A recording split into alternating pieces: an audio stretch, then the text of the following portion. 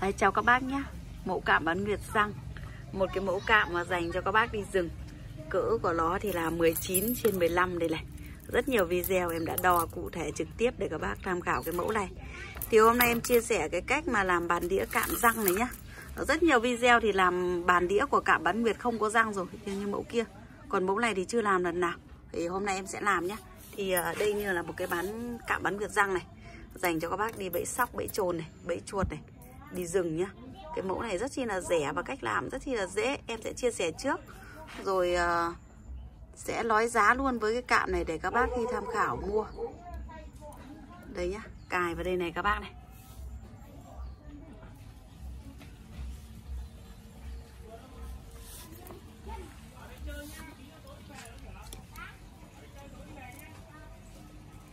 Cái mẫu bán nguyệt răng này nó khỏe nó các bác là một cái loại chất thép cứng thép tốt.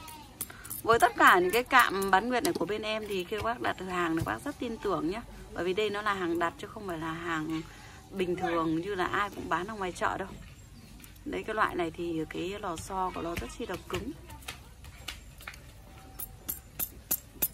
Một cái cách làm rất chi là đơn giản đấy các bác ạ. Đấy, như vậy là ok nhá cái này thì các bác làm các bác phải tì nhá. Bởi vì nó rất chi nó khỏe không phải là đơn giản à, bẻ tay đơn giản lên nữa đâu. Vì cái thép nó cứng mà cái lò xo nó rất chi là mạnh. Với tất cả những cái mẫu cạm bán nguyệt này thì cạm nào các bác có thể à, làm bàn được? Cẩn thận cho nó phật đấy sợ lắm. Cái này nó nhạy lắm các bác sẽ tùy thuộc theo cách của các bác cài nhé nếu khi mà mới cài an toàn thì các bác phải cài sâu một chút. Còn không thì uh, đây này. Đây là cái mẫu bán nguyệt răng nhá. Đấy. Cái mẫu này rất chi là khỏe, đây cây đây.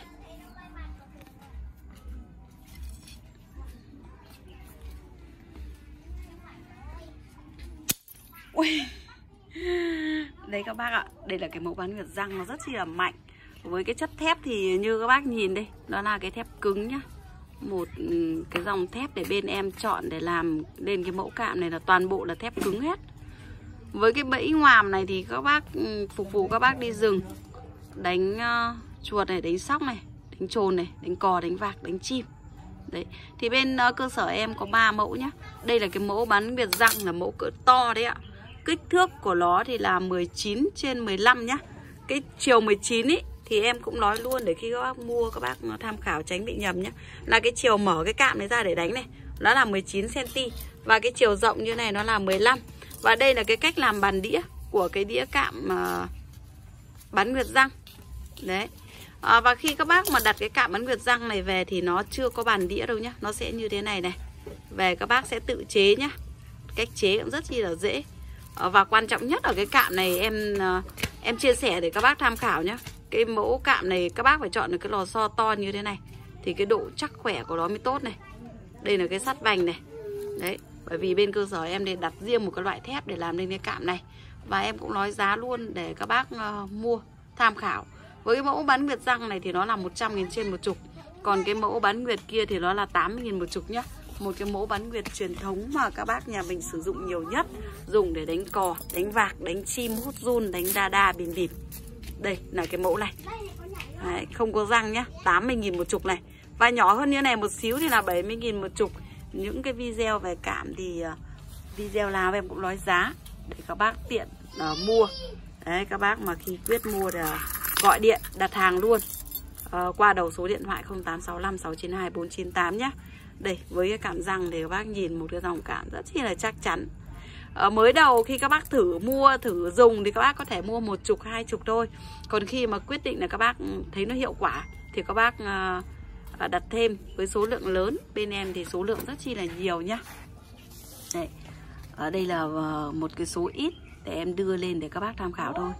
Một cái mẫu bán việt răng vô cùng là khỏe. À, vâng.